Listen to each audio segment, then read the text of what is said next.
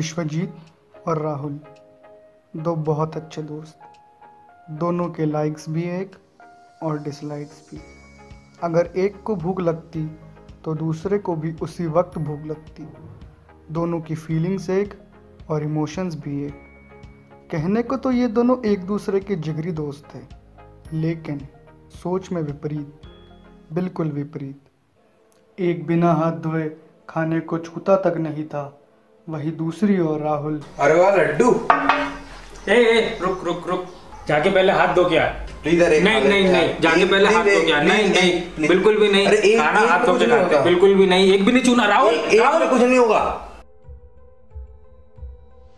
जहाँ विश्वजीत पुराने ख्यालों का था वहीं राहुल एक आज के ज़माने में जीने वाला ओपन माइंडेड लड़का।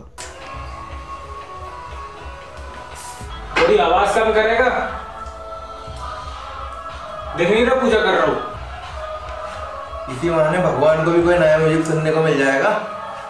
और कई बार दोनों के ख्याल ना मिलने से लड़ाइयाँ भी होती। रात में नाखून नहीं काटते। कितनी बार समझाया तुझे? अरे तो रात को क्या नाखून सो जाते हैं? बस मैंने तेको कह दिया तो कह दिया अब की बार नहीं कहूँगा।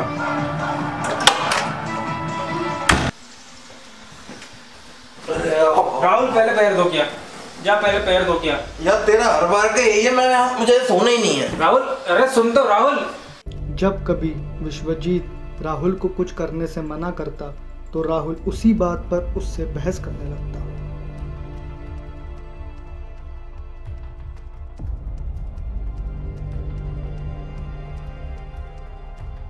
शायद उसे उस दिन मन ही मन अपने दिल की बात पता चली।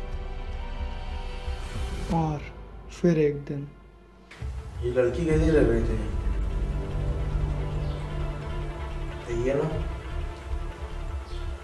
अच्छा ये बता तुझे कैसी गर्लफ्रेंड चाहिए? बिल्कुल तेरी तरह। लो।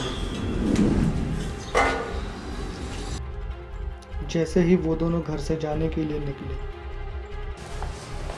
अबे चलना जल्दी लेट हो रहे हैं। चलता क्यों नहीं? अबे चल।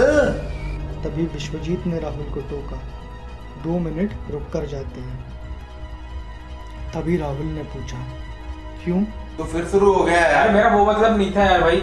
मैं तो जा रहा हूँ तुझे चलना होता तो मैं भी चल रहा हूँ। रुक रुक रुक रुक मैं भी चलूँगा। दोनों ने लाइफ में हर काम एक साथ किया लेकिन बस एक काम में एक दूसरे से आगे पीछे हो गए।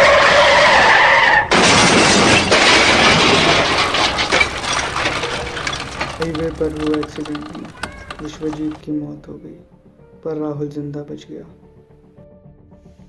पूरी लाइफ में राहुल ने खुद को कभी इतना अकेला नहीं पाया था। मन ही मन वो सोचता रहता कि उस वक्त उसे घर से निकलना ज़रूरी था। इस बड़े से घर में अब उसके अलावा कोई नहीं था। वो बाहर निकलकर किसी से मिलना भी नहीं चाहता था। उसके अकेलेपन का एक साथ ही मिल गया था उसके फ़ोन का आर्टिफिशियल इंटेलिजेंस ऐप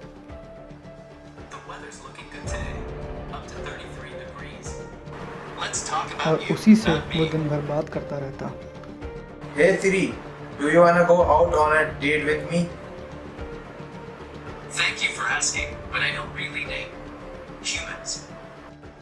राहुल दिन भर उसी से अकेले में बात करता रहता और अचानक एक रात राहुल को अपनी नींद में कुछ सुनाई दिया.